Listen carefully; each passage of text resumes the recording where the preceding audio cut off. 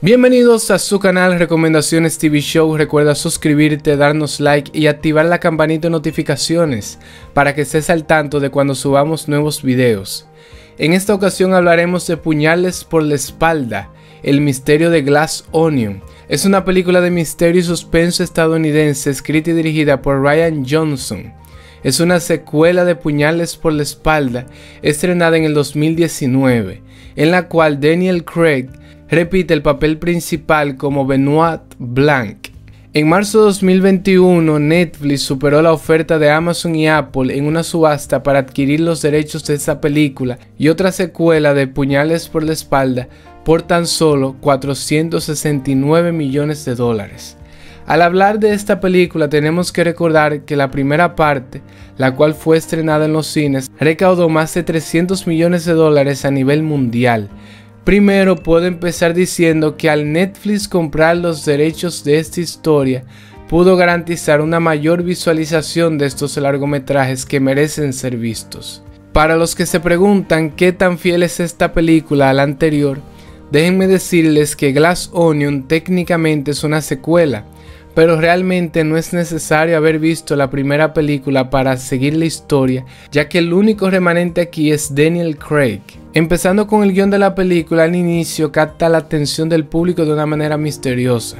En los primeros 30 minutos se enfocaron en presentar los personajes, sus cualidades, cómo se iban a desarrollar y los conflictos de la historia de una manera bien planeada y bastante atractiva. Al ser una película con muchos toques misteriosos, te mantiene en suspenso y estás esperando a ver con qué te sorprenderán. Un detalle que puedo resaltar de la historia es cuando dejan de lado los juegos y empiezan las cosas serias. El filme cambia totalmente y lo más chulo de todo esto es que lo sientes automáticamente. En la primera etapa te lo coges a chiste, te ríes y te entretienes y te sientes que estás jugando con ellos también, pero cuando ocurre el giro dramático de la historia, toma mucha seriedad y nosotros como espectadores nos centramos más en lo que creemos en lo que se está contando. La secuencia de las escenas hace que te concentres y que no la pierdas de vista.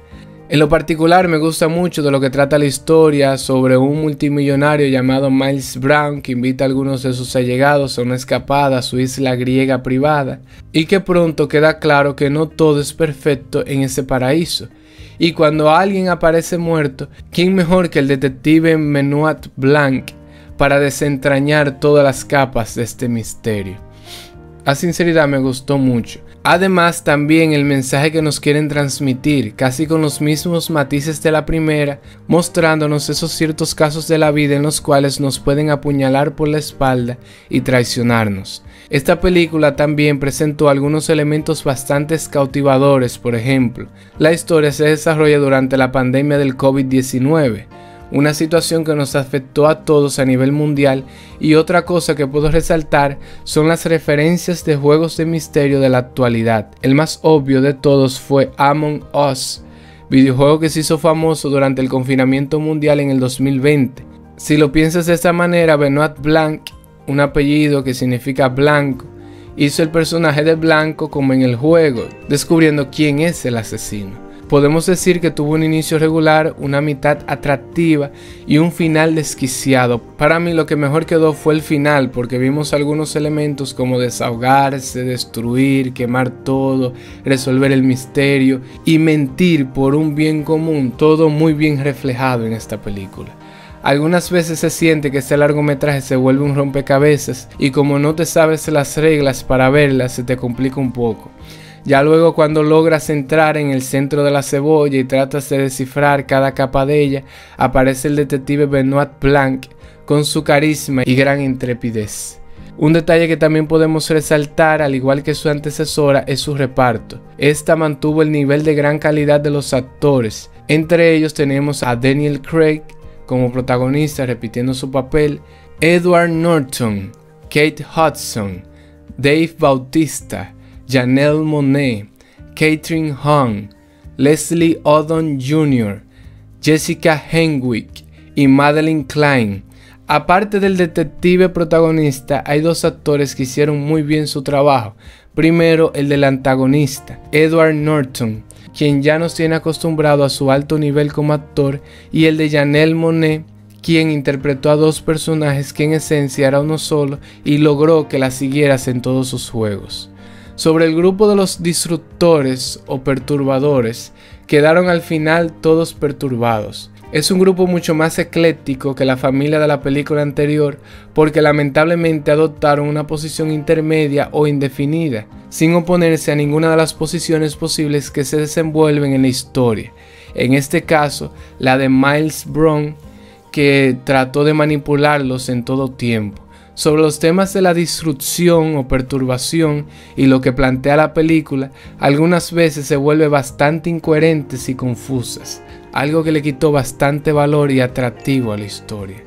La banda sonora tenemos a Nathan Johnson, primo del director Ryan Johnson, es uno de los elementos más fascinantes de la película por lo cautivadora que es y que a la misma vez mantiene la armonía del suspenso. Por otro lado, el diseño de producción, el montaje, la caracterización de los personajes, todo quedó de maravilla.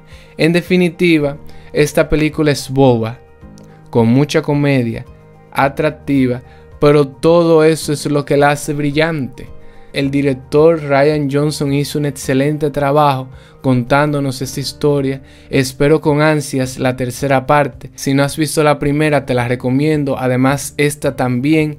Y puedo decir que ligeramente esta supera a su antecesora porque tiene aspectos mucho mejor planteados que la primera. Déjame ahí en los comentarios qué te pareció, cuál fue mejor, si te gustó, si cumplió tus expectativas. Recuerda que te habla Biel Rodríguez y que puedes ayudarme suscribiéndote, dándonos like y activando la campanita de notificaciones para que estés al tanto, porque somos Recomendaciones TV Show.